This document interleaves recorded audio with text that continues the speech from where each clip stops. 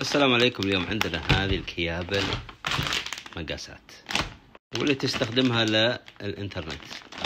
طبعا عندنا هذا الصغير عندنا هذا مقاس ثلاثة متر. هذا هو يكون جاهز.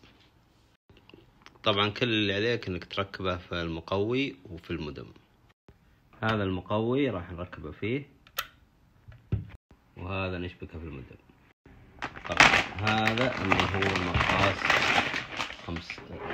30 متر عندنا نفس الفكرة. هذا هو.